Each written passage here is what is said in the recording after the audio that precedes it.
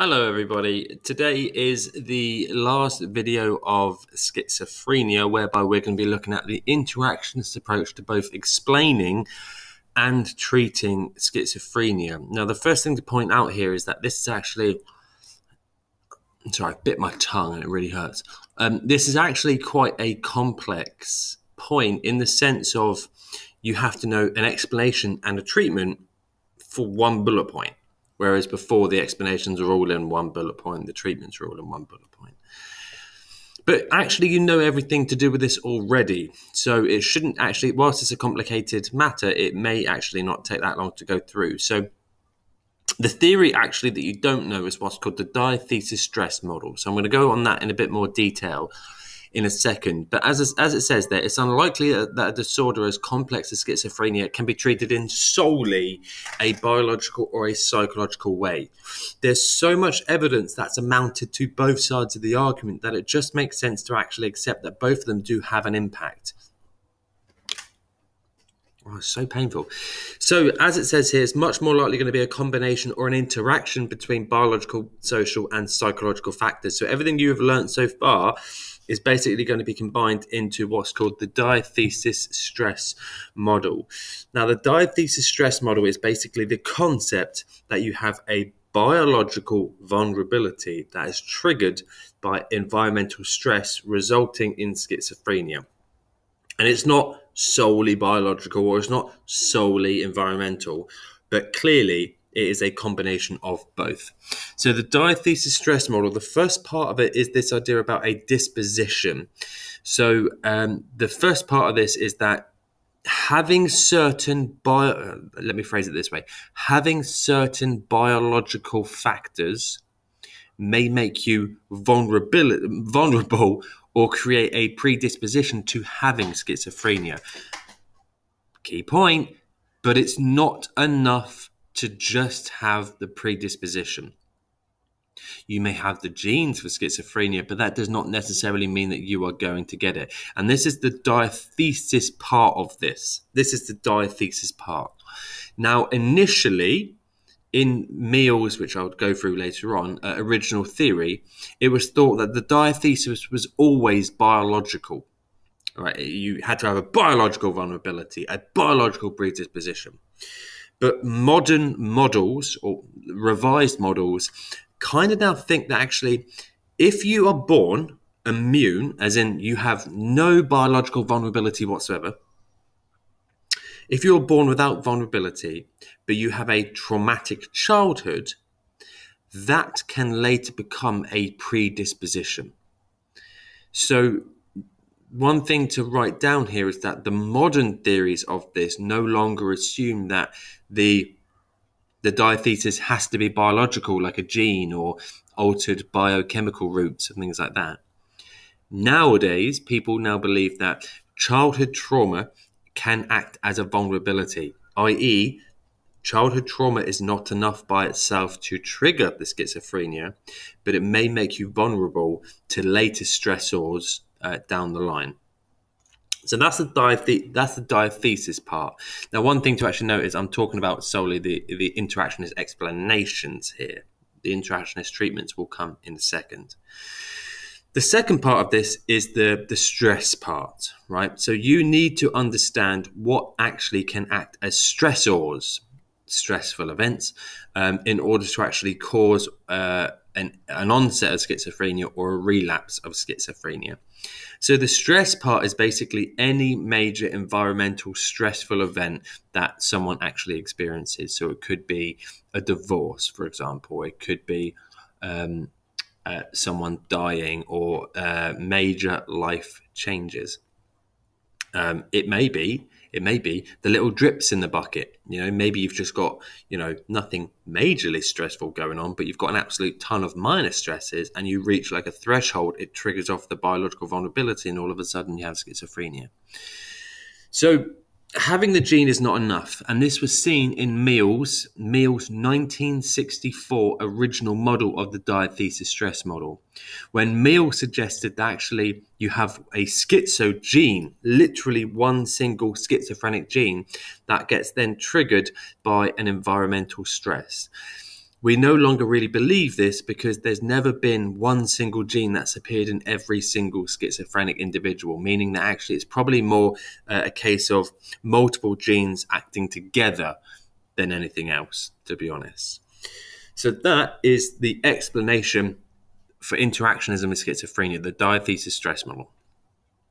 Diathesis stress model is not necessarily exclusive to schizophrenia. You could explain it for depression, for example. You could use it to explain um, eating disorders. You know, people have a biological vulnerability to this thing, like alcoholism, for example. Alcoholism is very biological, but yet it can get triggered by it. It, um, it largely is triggered by um, uh, environmental stressors. So these are the things that do come under both diathesis and uh, stress, and you do need to know these. So yes, your genes can play a role. Maybe you've got faulty dopamine, dop, dopaminergic systems, which can act as a vulnerability alone. That dopaminergic system is not enough for you to trigger schizophrenia. But if you then have uh, family dysfunction or a substance abuse or, or, you know critical life events such as a relationship breakdown or divorce or even Christmas, um, that can be enough for you to actually trigger off a, a schizophrenic episode. So, the one thing I want to say about this, and the key mistake that people make about this, is when they describe this, they describe the diathesis separately, they describe the stress separately. No, no, no, no, no. Don't do that. What you need to be able to do is when you're in the exam, do not simply describe both sides. You have to specifically kind of state how it's, it's the word trigger.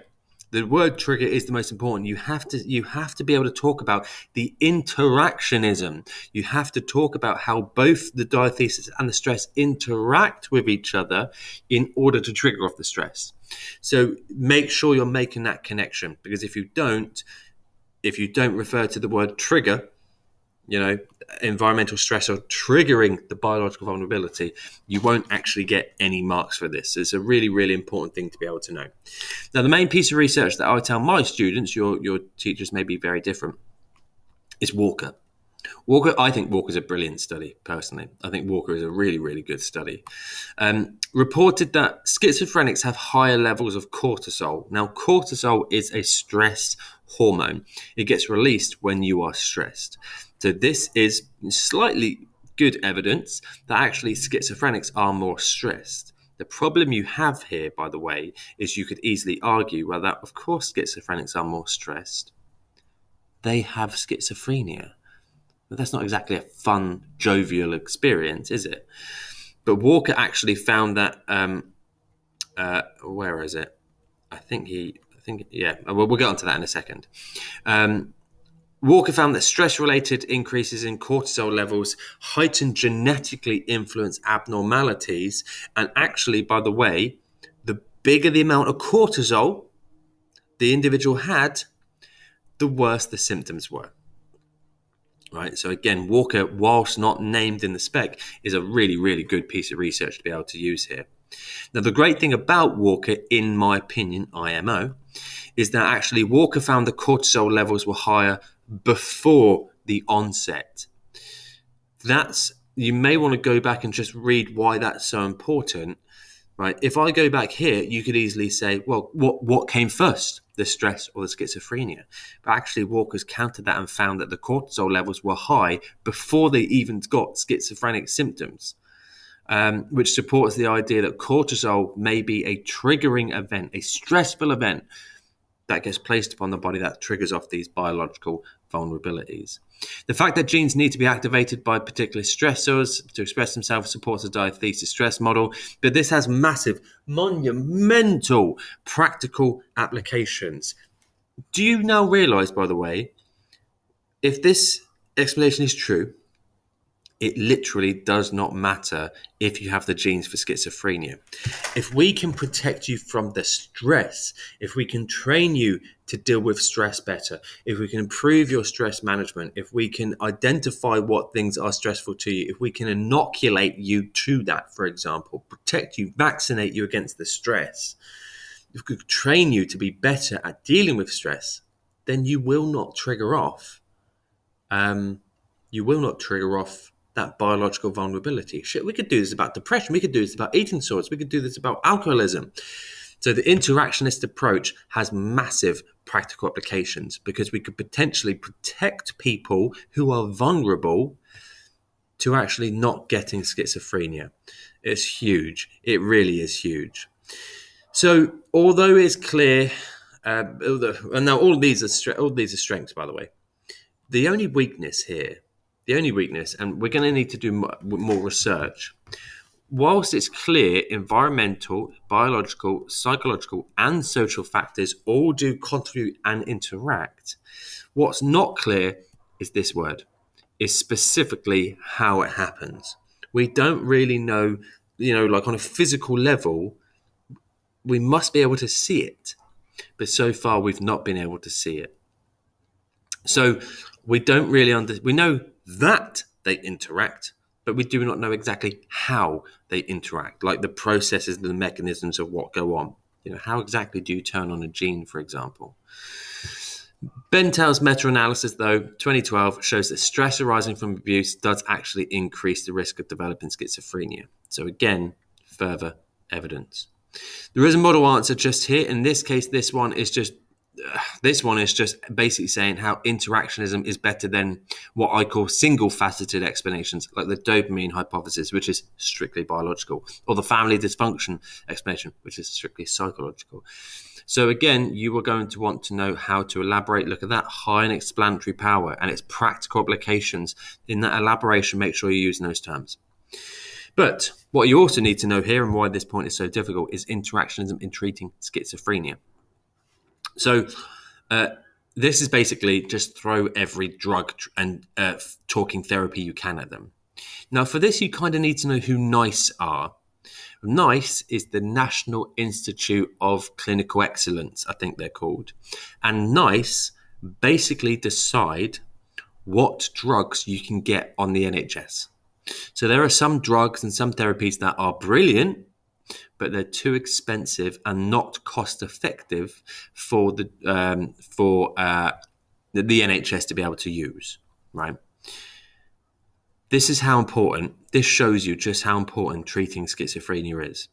Keep in mind, NICE are generally not liked because they have to tell the NHS, no, you can't have that drug, no, you can't have that drug, no, you can't have that drug, which kills tons of cancer patients every year.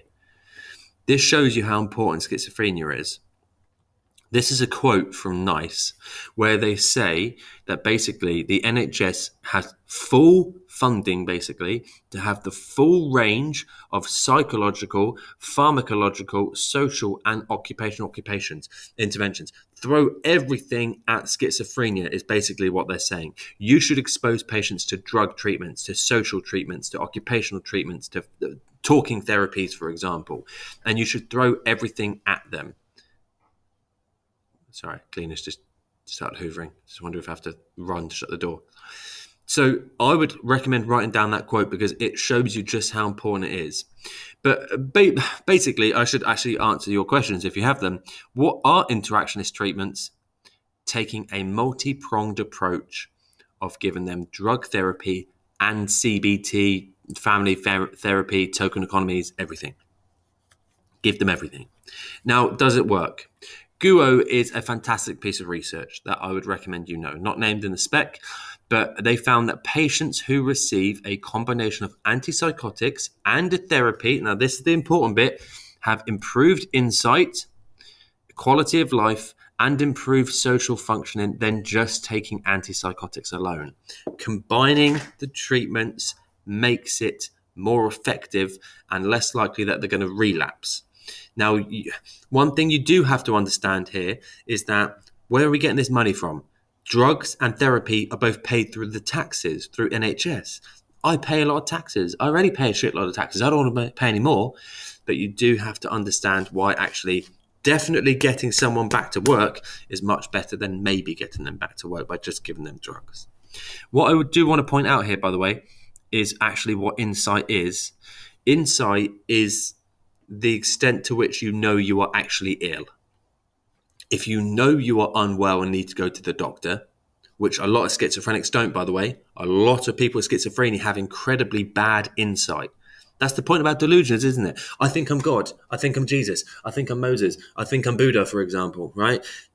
They're not going. I'm, I'm really ill and I actually need to get rid of this delusion because I, this I am actually quite schizophrenic, right? They do not know they are unwell. They don't know that. Uh, generally, they don't know they're unwell until they have interactionist treatments, and until they have interactionist treatments, um, uh, it's quite difficult to know you are unwell. Um, people with depression generally have good insight. People with OCD generally have good in, insight into their condition. They know they're unwell, but people with schizophrenia do not terribly know it well. Sudak is another good piece of research, but I, I want to draw your attention, which feel free to pause and write it down, that I want to draw your attention to Tarrier, which I think is a better piece of research. Tarrier found that patients who were treated with drug therapy and CBT showed lower symptom levels than those only taking drugs, throwing a multi pronged approach at sufferers does actually work. So, this interactionist treatment does actually work. The key bit I think you need to know here is that. Okay, I'm not going to go into this in too much detail. Feel free to pause this because these are all the these these are all of the strengths and weaknesses, particularly the um, uh, negatives. By the way, particularly the negatives. But um, I think this one is quite an important point. Um, uh, I will say this out very briefly. Interactionist approaches are better because CBT is a more permanent treatment, but you cannot give CBT to people who are severely schizophrenic because they don't want to go, they don't see the impact, they, they, they don't have the time or the commitment or the energy or the motivation or the determination. They don't have any of this. Give them drugs, as in antipsychotics, that that will allow them to get to a place where they can start thinking more rationally and then they think oh okay i need to go to therapy so why interactionist approaches in treatments are so important is they complement each other short-term drug treatment get you to a rational place boom cbt and therefore you're going to be more effective yes on the one hand it is more expensive. On the one hand, it is more expensive. Of course, it's more expensive to give people drugs and therapy than just drugs. But at the end of the day, if you know you're going to fix someone with much more certainty and they're going to go into work and start earning taxes and start earning money and contributing to the economy, surely this short term gain for long term prosperity, this, sorry, this short term pain for long term prosperity is much better for example, if I were to give you ten pound and say you're probably going to make a hundred back, surely you would do that, right? Um, question for you just here in terms of diathesis stress, but that is actually all there is to it. So with the uh, with the final bullet point made, that is now schizophrenia. If you're watching this for the first time, my advice to you would be for you to go away and um, uh, now make your flashcards for schizophrenia and fill in your workbooks and basically get everything ready for schizophrenia to be done before we move on to presumably relationships next week. Peace out.